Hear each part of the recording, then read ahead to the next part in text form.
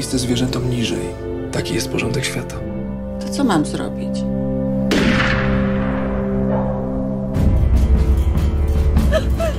Przyszłam zgłosić morderstwo.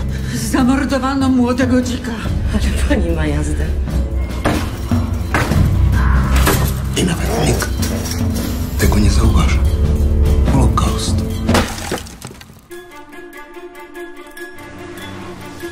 Co to jest? Wygląda dziwnie, zobacz.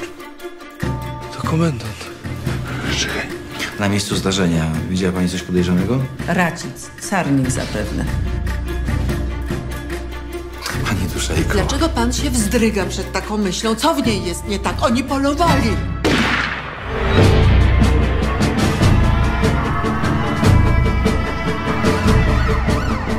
Historia zna wiele sprawców zwierzęcych zbrodni.